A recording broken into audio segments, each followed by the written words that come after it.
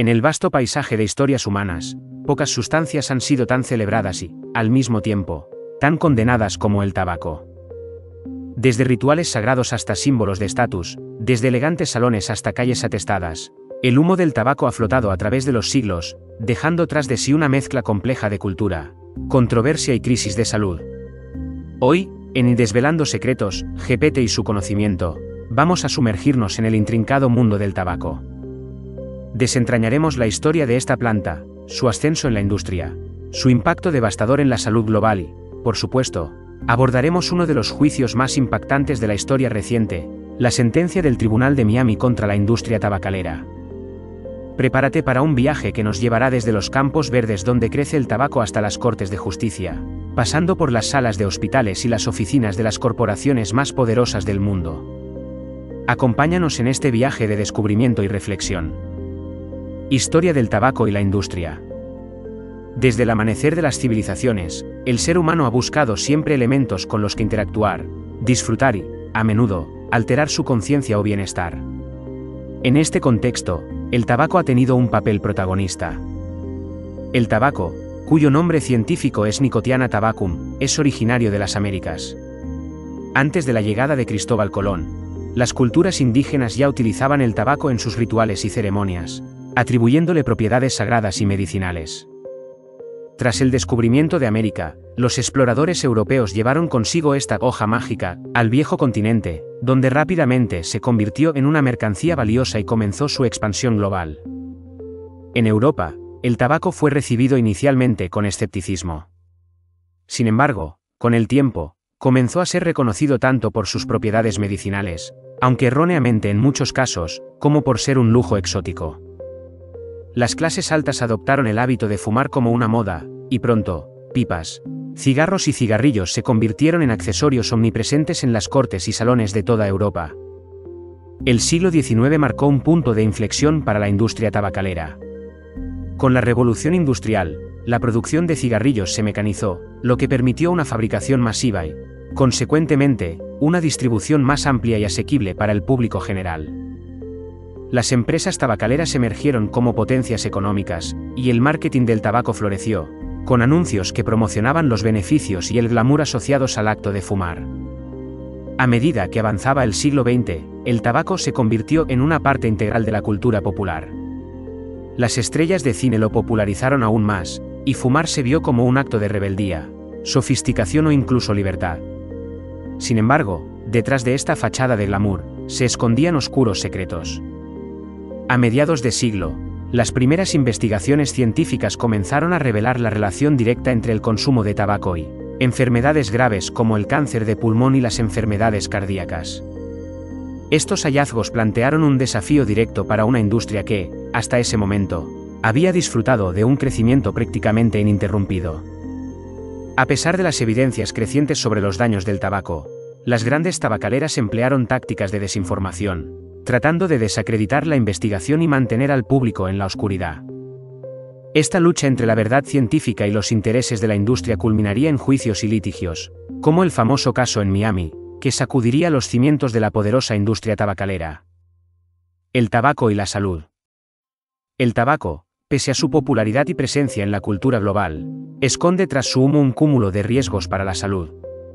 Su relación con diversas enfermedades ha sido estudiada meticulosamente a lo largo de los años, llevando a descubrimientos que la industria del tabaco intentó ocultar durante décadas. La nicotina presente en el tabaco es altamente adictiva, lo que hace que una vez que se inicia el hábito de fumar, dejarlo se convierte en una tarea hercúlea para muchos. Pero la nicotina es solo una de las más de 7.000 sustancias químicas que se encuentran en el humo del tabaco. De estas, al menos 250 son dañinas y más de 70 pueden causar cáncer. Entre los males más asociados con el consumo de tabaco se encuentra el cáncer de pulmón. Este es solo la punta del iceberg, ya que el tabaco se ha vinculado también a cánceres de la boca, esófago, páncreas, riñón, vejiga, y muchos otros. La lista de enfermedades respiratorias y cardíacas relacionadas es igualmente extensa, incluyendo bronquitis crónica, enfisema y enfermedad pulmonar obstructiva crónica, EPOC, así como ataques cardíacos y accidentes cerebrovasculares. Más allá del propio fumador, el humo de segunda mano es un riesgo silente pero mortal. Las personas que están expuestas al humo de segunda mano, incluyendo niños y no fumadores, tienen un mayor riesgo de desarrollar enfermedades cardíacas, respiratorias y otras afecciones. En el siglo XX, a medida que las investigaciones científicas revelaban estos impactos devastadores en la salud, la industria tabacalera, en un intento de proteger sus intereses económicos, lanzó campañas masivas de desinformación. Trataban de crear dudas sobre las investigaciones y minimizar los riesgos asociados al tabaco. Utilizaron tácticas similares a las empleadas por otras industrias, como la del amianto o la petrolera, para negar la evidencia científica. En el ámbito económico, los costos relacionados con el tabaquismo son enormes. Solo en atención médica, los gastos relacionados con enfermedades provocadas por el tabaco ascienden a cifras astronómicas anualmente, en muchos países. A esto se suman las pérdidas económicas debido a la reducción de la productividad laboral y las muertes prematuras. Es esencial entender la magnitud del daño que el tabaco causa en la salud individual y colectiva para abogar por políticas públicas efectivas, campañas de sensibilización y medidas de prevención. Sentencia del Tribunal de Miami. Uno de los hitos más emblemáticos en la lucha legal contra la industria del tabaco se produjo en Miami en los años 90. Esta historia, aunque quizás olvidada por algunos, marcó un precedente que sacudió a las grandes tabacaleras y cambió la percepción pública sobre el papel que estas empresas jugaban en la salud de las personas. En 1994, se presentó una demanda colectiva en Miami en nombre de todos los fumadores de Florida. El caso, conocido como Engelube Ligit Grouping. Enfrentó a los afectados por enfermedades relacionadas con el tabaco y las familias de aquellos que habían fallecido a causa de estas enfermedades, contra las principales empresas tabacaleras, como Philip Morris Estados Unidos, RJ Reynolds Tobacco Company y Ligit Group, entre otras. El argumento central de los demandantes era que las tabacaleras habían actuado con negligencia, vendiendo un producto peligroso mientras minimizaban y ocultaban sus riesgos para la salud. También se les acusó de conspiración, al afirmarse que habían trabajado juntas para ocultar la evidencia de los daños del tabaco y tergiversarla. Verdad sobre la adicción a la nicotina. El juicio, que duró más de dos años, fue uno de los más extensos y costosos en la historia de Estados Unidos. A medida que se presentaban las pruebas, la magnitud del engaño de las tabacaleras empezó a quedar al descubierto. Documentos internos, Memorandos y testimonios de expertos pintaron un panorama oscuro de cómo estas empresas habían manipulado la información científica y orquestado campañas de desinformación para mantener al público en la oscuridad. En 2000, el jurado dictaminó a favor de los demandantes, otorgando un histórico fallo de 145 mil millones de dólares en daños punitivos. Esta suma fue, en ese momento, la más alta jamás otorgada en una demanda colectiva en Estados Unidos. Sin embargo, este fallo inicial no sería el final de la historia. Las tabacaleras apelaron y en 2006, el Tribunal Supremo de Florida anuló el veredicto, argumentando que el caso no debió haberse presentado como una demanda colectiva. A pesar de ello, el tribunal también afirmó muchas de las conclusiones del juicio original, lo que permitió a los demandantes individuales presentar demandas individuales utilizando las pruebas y hallazgos del caso Engel. Aunque los 145 mil millones de dólares originales nunca fueron pagados, esta sentencia puso de manifiesto las tácticas engañosas y peligrosas de la industria tabacalera. Sirvió como un catalizador para otras demandas contra tabacaleras y para medidas gubernamentales de control del tabaco en muchos países.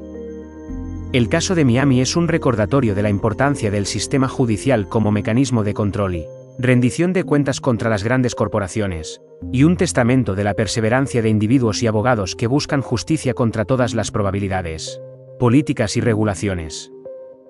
Desde que se comenzó a conocer el vínculo entre el consumo de tabaco y diversas enfermedades, las políticas y regulaciones en torno a este producto han sido objeto de debates y cambios continuos. Estas medidas han evolucionado, respondiendo a la creciente preocupación pública y al deseo de proteger la salud de las personas de los peligros asociados con el tabaquismo. 1. Advertencias de salud. Una de las primeras y más universales respuestas gubernamentales fue requerir que las cajetillas de cigarrillos incluyeran advertencias sobre los riesgos para la salud. Estas advertencias, que comenzaron siendo sutiles y discretas, han evolucionado hacia imágenes gráficas y mensajes explícitos en muchos países, mostrando de manera clara los efectos devastadores del tabaquismo.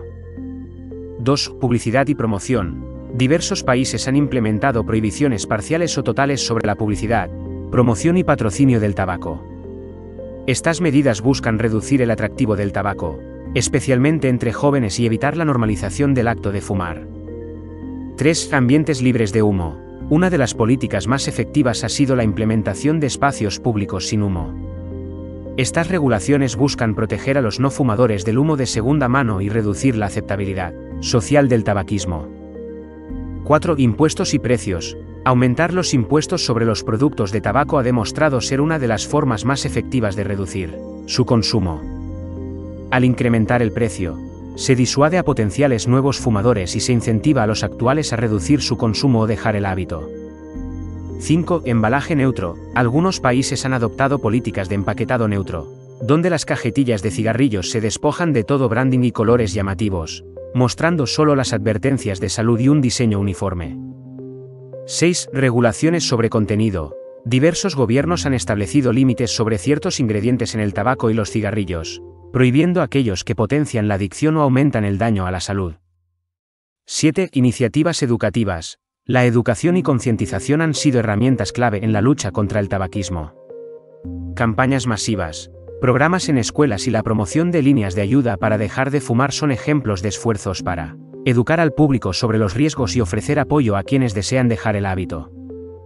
A medida que la ciencia y la conciencia pública avanzan, también lo hacen las políticas y regulaciones. La implementación de estas medidas ha llevado a disminuciones significativas en las tasas de tabaquismo en muchas partes del mundo. Sin embargo, aún queda trabajo por hacer, especialmente en aquellos lugares donde la industria tabacalera sigue teniendo una influencia significativa o donde las regulaciones aún no son lo suficientemente estrictas. Alternativas al tabaco. A medida que la sociedad ha ido tomando conciencia de los graves peligros que el tabaquismo representa para la salud, ha habido un interés creciente en encontrar alternativas al tabaco tradicional. Estas alternativas buscan ofrecer una experiencia similar para aquellos que desean dejar de fumar o reducir su consumo, sin los mismos riesgos asociados. 1. Cigarrillos electrónicos, vaping surgidos en la década de 2000. Los cigarrillos electrónicos o VAPs utilizan una solución líquida que, cuando se calienta, produce un vapor que se inhala. Aunque inicialmente se comercializaron como una alternativa más segura al tabaquismo tradicional, los estudios continúan analizando sus efectos a largo plazo en la salud. 2. Terapias de reemplazo de nicotina, TRN. Estas terapias ofrecen nicotina sin los otros químicos dañinos encontrados en los cigarrillos. Parches, chicles, inhaladores y pastillas son algunas de las formas de TRN disponibles, y se utilizan comúnmente como parte de un programa integral para dejar de fumar. 3. Tabaco sin humo. Este abarca una variedad de productos, desde el snus escandinavo hasta el tabaco de mascar estadounidense. Aunque evitan algunos de los peligros del humo del cigarrillo, todavía presentan riesgos significativos para la salud, incluido el cáncer oral. 4. Terapias alternativas, desde la acupuntura hasta la hipnosis. Hay una serie de terapias que algunas personas utilizan para ayudarse a dejar de fumar. Si bien pueden ser efectivas para algunos individuos, es importante investigar y encontrar una terapia que tenga un respaldo científico sólido. 5. Cigarrillos de hierbas, sin nicotina y hechos de una mezcla de hierbas. Estos cigarrillos ofrecen una experiencia de fumar sin la adictividad de la nicotina. Sin embargo, todavía producen alquitrán y otros químicos dañinos cuando se queman. 6. Apps y soporte digital. La tecnología ha permitido el desarrollo de aplicaciones y plataformas digitales que ayudan a las personas a dejar de fumar. Estas herramientas ofrecen seguimiento, motivación y recursos educativos para aquellos en el proceso de dejar el hábito. 7. Grupos de apoyo. La comunidad puede ser una herramienta poderosa en el camino para dejar de fumar. Grupos de apoyo, ya sean presenciales o en línea, proporcionan un espacio para compartir experiencias, desafíos y triunfos. Si bien existen múltiples alternativas al tabaco tradicional, es esencial reconocer que no todas son seguras o efectivas para todos los individuos. Es crucial investigar y, si es posible, consultar a profesionales de la salud antes de adoptar cualquier alternativa o método para dejar de fumar. Reflexiones finales. El tabaco ha sido parte integral de muchas culturas durante siglos, desde ceremonias rituales hasta momentos de socialización. Sin embargo, con el paso del tiempo y el avance de la ciencia, se ha desvelado la verdadera naturaleza de este producto y los profundos impactos negativos que tiene en la salud global. Es evidente que el tabaquismo no es solo un hábito individual, es un problema de salud pública. Las enfermedades relacionadas con el tabaco siguen siendo una de las principales causas de muerte en el mundo. La industria tabacalera, con sus tácticas de marketing y litigios, ha desempeñado un papel en la perpetuación de este hábito, a menudo a expensas de la salud y el bienestar del público. La sentencia del Tribunal de Miami y otros juicios similares alrededor del mundo reflejan un cambio en la percepción pública y legal sobre la responsabilidad de la industria. Estas acciones legales no solo buscan justicia para las víctimas del tabaquismo, sino que también arrojan luz sobre las prácticas turbias de la industria. Afortunadamente, con el conocimiento y las herramientas disponibles hoy en día, hay esperanza. Las alternativas al tabaco, las políticas más estrictas y la conciencia pública son pasos en la dirección correcta. Pero queda mucho trabajo por hacer. Es esencial que sigamos educando a las generaciones más jóvenes sobre los peligros del tabaco y proporcionando recursos y apoyo para aquellos que desean dejar de fumar. Para finalizar, en el canal Desvelando Secretos, GPT y su conocimiento, siempre buscamos desentrañar las verdades detrás de los temas más importantes. El tabaco, con su rica historia y su legado de impactos en la salud, es un claro ejemplo de por qué es crucial estar informados y actuar en consecuencia. Como sociedad, tenemos la responsabilidad de proteger a las futuras generaciones de los peligros del tabaco y de cualquier otra amenaza que comprometa nuestra salud y bienestar. La lucha contra el tabaquismo es una lucha colectiva. Cada individuo que decide dejar de fumar, cada política que se implementa para reducir el consumo, y cada voz que se alza para educar y concienciar, nos acerca un paso más a un mundo más saludable y libre de humo. Este segmento brinda una perspectiva completa del viaje que hemos emprendido a través del vídeo, cerrando con una nota de esperanza y un llamado a la acción para continuar luchando contra los peligros del tabaquismo. A medida que cerramos este capítulo sobre el tabaco, su historia, los desafíos de salud y las controversias legales, queremos agradecerles por acompañarnos en otro episodio de Desvelando Secretos, GPT y su conocimiento. La información es poder y es nuestra esperanza que, al arrojar luz sobre temas como estos, podamos empoderar a cada espectador a tomar decisiones informadas. Recuerda, tu salud y bienestar son esenciales. Si tú o alguien que conoces está luchando contra el hábito de fumar, busca apoyo y recursos. Juntos podemos construir un futuro más saludable y libre de humo. No olvides suscribirte, darle like, si te ha parecido valioso este contenido y compartirlo con aquellos que crees que pueden beneficiarse de esta información. Nos vemos en el próximo episodio, donde continuaremos desentrañando más secretos y compartiendo conocimiento. Hasta la próxima.